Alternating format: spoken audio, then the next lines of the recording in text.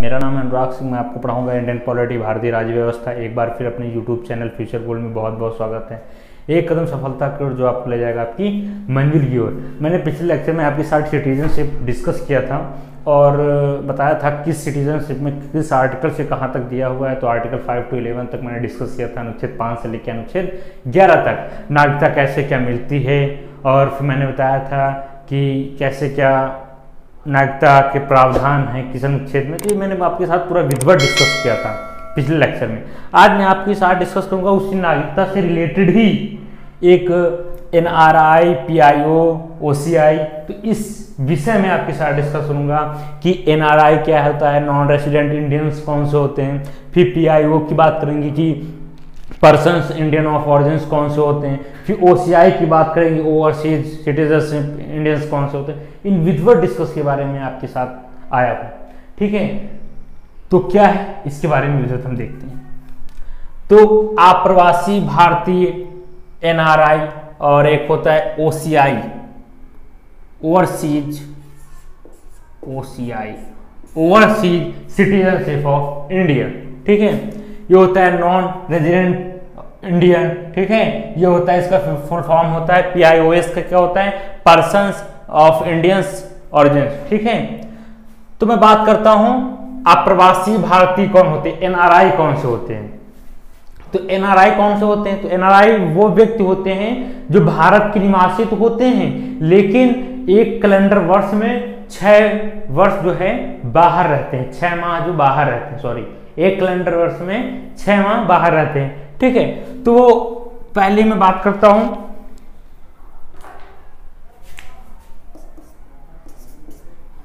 अप्रवासी भारतीय दिवस तो जो कोई व्यक्ति है, जैसे मान लो, ठीक है, वो बाहर कोई बिज़नेस करने गया, ठीक है, या कहीं पढ़ने गया, ठीक है? मतलब आप समझ लीजिए, एक दिन।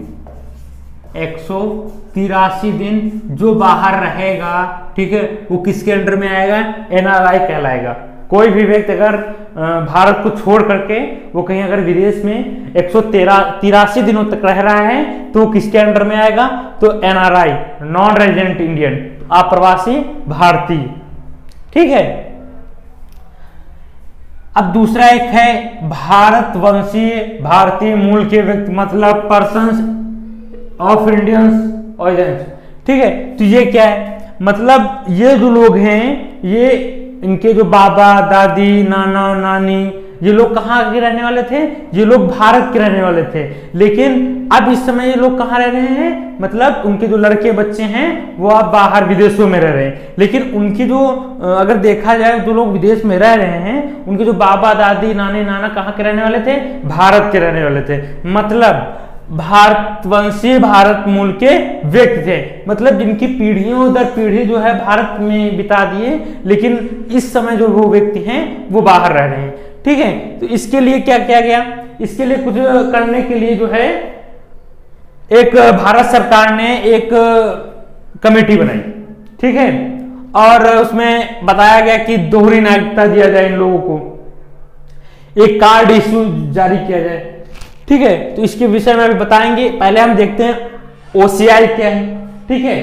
तो ओवरसीज सिटीजनशिप ऑफ़ इंडियंस ठीक है? तो ये समुद्री पारी नागरिक कहलाए जाते हैं। तो समुद्री पारी नागरिक जो थे, वो 2005 में 2005 में बने थी। उसके बाद ये इसके अलग प्रावधान थे और पीआईओ के अलग प्रावधान थे। ठीक है? इससे जुड़ी सेवा शर्तें जो थी वो अलग थी। पीआईओ की और ओसीआई की सेवा शर्तें अलग थी। लेकिन 2015 में ईयर 2015 में क्या किया गया? पीआईओ और ओसीआई को दोनों को मिक्स कर दिया गया। दोनों को मिला दिया गया। ठीक है? तो इसके लिए एक जो है, एक लक्ष्मीमल सिंधवी।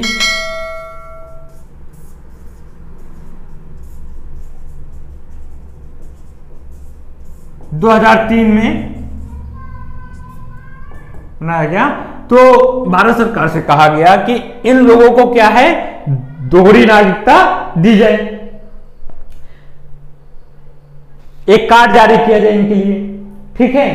तो तो वो लोग जो है, भारत में आएँगे और भारत में अपना इन्वेस्टमेंट करेंगे, ठीक है? जिससे फ़ायदा गवर्नमेंट ऑफ़ इंडिया को होगा।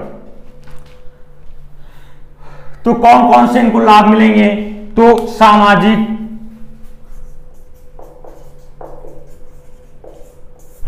तो कौन से व्यक्ति, भारत भारतवंशी भारत मूल के व्यक्ति जो है, उनको कौन सा लाभ मिलेगा? सामाजिक, ठीक है? सामाजिक क्षेत्र में वो भाग ले सकते हैं। ठीक है? आर्थिक क्षेत्र में मतलब कोई भी अपना इन्वेस्टमेंट कर सकते हैं। जी, जब इन्वेस्टमेंट करेंगे तो डॉलर के रूप में तो हमारे देश को क्या होगा? प्रॉफिट होगा। फिर बात की जाए तो धार्मिक क्षेत्र में वो भाग ले सकते हैं। धार्मिक क्षेत्र। कोई प्रतिबंध नहीं कि आप धार्मिक क्षेत्र में भाग नहीं ले सकते। आराम से लीजिए आप धार्मिक क्षेत्र में भाग। ठीक है? लेकिन एक चीज़ आप याद रखना, प्रशासनिक प्रशासनिक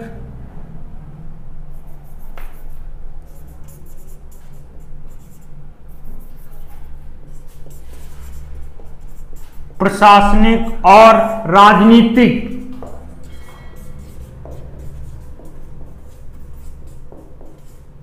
इनमें आप भाग नहीं ले सकते। ठीक है? प्रशासनिक और राजनीतिक में। इसमें आप जो है, पूरी तरीके से प्रतिबंध है।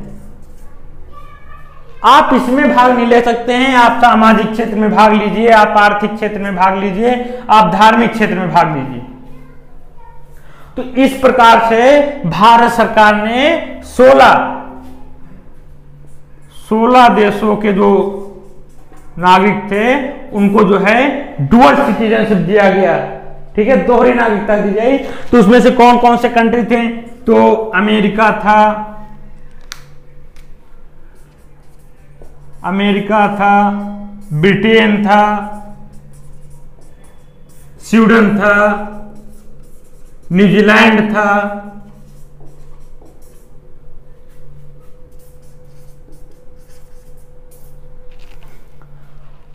नॉर्वे था।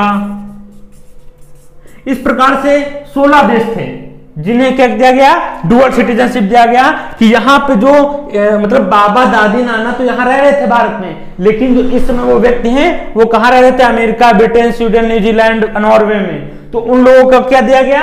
डुअल सिटीजनशिप एक कार्ड इशू जारी किया गया।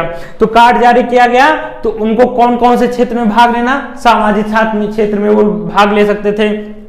आर्थिक क्षेत्र में भाग ले सकते थे, धार्मिक क्षेत्र में भाग ले सकते थे, लेकिन वो प्रशासनिक और राजनीतिक क्षेत्र में भाग नहीं ले सकते थे। और फिर मैंने आपको बताया कि ओसीआई जो था पहले 2005 में अलग था, समुद्री पारी नाविक जो कहलाते थे वो अलग था 2005 में। लेकिन 2015 में क्या हुआ? पीआईओ को और ओसीआई को दोनों को मिक्स कर दिया गया। ठीक है? अब यहाँ से एक क्वेश्चन पूछा जा सकता है कि जो नागरिकता है वो कुछ किस सूची का विषय है? ये मोस्ट इंपॉर्टेंट क्वेश्चन पूछ सकता है आपके वनडे एग्ज़ाम में कि नागरिकता जो है, नागरिकता किस सूची का विषय है? तो आपको मैंने बताया था संघ सूची राज्य सूची और समवर्ती सूची। फिर मैंने आपको बताया था संघ सूची में कितने विषय हैं तो सत्तानवे विषय हैं, जो बढ़कर कितने हो गए? सौ विषय हो गए हैं। फिर मैंने आपको बताया था राज्य सूची। राज्य सूची में कितने विषय हैं? तो छाछठ विषय हैं, जो घटकर कितने हो गए? इकसठ हो गए। फिर मैंने आपको बताया था संवर्ती सूची। संवर्ती सूची में कुल कितने विषय हैं? तो सैतालीस हैं, जो बढ़कर कितने हो गए? बावन हो गए। तो ये मैंने पूरी सूची आपके साथ डिस्कस किया था। तो इस सूचियों का जो प्रावधान है वो किस अनुसूची में है तो अनुसूची नंबर सात में है। स से सात स से सूची। तो ये मैंने आपके साथ पिछले लेक्चर में आपके साथ डिस्कस किया था। तो वही जो नागरिकता है, वो किस सूची में है? तो यहाँ से क्वेश्चन बन सकता है तो आपको क्या बताना है? संघ सूची में कहाँ पर है? तो संघ सूची।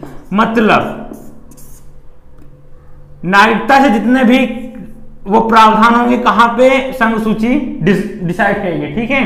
संघ सूची में दिया गया है नागरिकता एक बार फिर से मैं आपको रिवाइज करवा दूँ कि अप्रवासी भारतीय एनआरआई मतलब एनआरआई का फुल फॉर्म होता है नॉन रेजिडेंट इंडियंस तो जो लोग यहाँ पे रह रहे थे, लेकिन वो एक कैलेंडर वर्ष में मतलब छह छह जो माह है, वो बाहर रहते हैं। अमेरिका, स्वीडन, नॉर्वे, कहीं पर भी, ठीक है? तो वो किस उद्देश्य से रह रहे हैं? व्यापार करने के उद्देश्य या पढ़ाई करने के उद्देश्य या अपना कुछ बिज़नेस चलाने के उद्देश्य कुछ भी कर रहे हो। लेकिन वो जो है, छह माह बाहर रहते हैं। मतलब एक सौ तिरासी दिन, ठीक है? फिर मैंने आपको दूसरा बताया, आपको पीआईओ मतलब person of Indian citizen sorry person of Indian origin ठीक है? तो भारतवंशी भारतीय मूल के व्यक्ति मतलब जो उनके पीढ़ी दर पीढ़ी भारत में रह रहे थे, लेकिन अब वो भारत में नहीं रह रहे हैं। अब जैसे एग्ज़ाम्पल राइट मैं आपको बता दूँ, कल्पना चावला, ऐसे बहुत से लोग हैं जो मतलब अभी देखो एक अमेरिका के जो भी एक पद पे भी चयनित हुए हैं। ठीक है? तो मतलब उनके बाबा, दादी, नानी, नाना वो लोग रहने वाले तो यहाँ इंडियंस के थे, लेकिन अब वो लोग कहाँ रह रहे हैं? विदेश में रह रहे हैं। ठीक है? तो उन लोगों को वहाँ की नागरिकता मिल चुकी हुई। ठीक है? अब उसके तक उसके लिए लक्ष्मी जी सिद्धवी 2003 में एक आयोग बनाया गया। उसमें सरकार से कहा गया कि इनको डुअल सिटीजनशिप दी जाए। तो डुअल सिटीजनशिप देने के लिए 16 देशों की 16 देशों के लोगों को नागरिकता दी गई। ठीक है? किस लिए दी गई? कि कम से कम अपना भी प्रॉफिट हो सके, क्योंकि वो लोग जब बाहर से आएँगे अपने इंडियन में तो कुछ ना कुछ इन्वेस्टमेंट करेंगे। जब वो इन्वेस्टमेंट करेंगे तो फ़ायदा किसका होगा? फ़ायदा होगा गवर्नमेंट ऑफ़ इंडिया का। तो इस पर्पज से उन्होंने क्या किया? एक कार्ड इशू जारी किया, जिसे आप डुअल सिटीजनशिप कैसे कह सकते हो एक हिसाब से। अब 16 देशों के लोगों को दी गई तो कौन कौन से थे? अमेरिका था, ब्रिटेन था स्वीडन था, न्यूजीलैंड था, नॉर्वे था, इस तरीके से तमाम 16 कंट्री थे, ठीक है, उन लोगों को दी गई। लेकिन उनके आगे एक, उनके आगे समस्या थी कि वो लोग कहाँ कहाँ भाग ले सकते हैं? केवल सामाजिक क्षेत्र में, आर्थिक क्षेत्र में और धार्मिक क्षेत्र में, ठीक है? लेकिन प्रशासनिक और राजनीतिक क्षेत्र में वो भाग नहीं ले सकते हैं। फिर मैंने बताया था ओसीआई को जो है 2015 में इसको शामिल कर लिया गया। पहले अलग अलग सेवा करते थे, अब जो क्या है, एक ही व्यवस्था है। उसके बाद मैंने आपको बताया जो नागरिकता का प्रावधान किस सूची में दिया हुआ है तो क्वेश्चन बन सकता है यहाँ से। तो आपको मैंने बताया संघ सूची। ऑब्जेक्ट टू टाइप का क्वेश्चन आएगा, बोलेगा नागरिकता किस सूची का विषय है तो आपको बताना पड़ेगा, उसमें ऑप्शन दिया होगा, संघ सूची, राज्य सूची, संवर्ती सूची, या कोई एक विषय या इनमें से कोई नहीं, ठीक है? तो आपको टिक करना है, संघ सूची। अब यहाँ तक अगर आपको कोई दिक्कत हो, यहाँ तक अगर आपको कोई भी दिक्कत है तो आपके लिए मैं सदैव तत्पर हूँ, आप कमेंट बॉक्स में लिखिए, मैं तुरंत उसका आंसर दूँगा, और इससे जो रिलेटेड जो क्वेश्चंस हैं, वो मैं अगले वाले लेक्चर में आपके साथ डिस्कस कराऊँगा। एक एक टॉपिक वाइज से आपके मैं, जितने भी आज तक मैंने जहाँ तक पढ़ाया है, सारे क्वेश्चन आपके साथ डिस्कस कराऊँगा। तो आप लोग जहाँ भी हैं, खुश रहिए, मस्त रहिए, लेकिन पढ़ते रहिए, क्योंकि पढ़ाई जो है लॉकडाउन के साथ मत बंद करिए। ठीक है? तो यहीं पे अपना समाप्त करता हूँ लेक्चर एक नए वीडियो के साथ कल मिलते हैं। जय हिंद, जय भारत।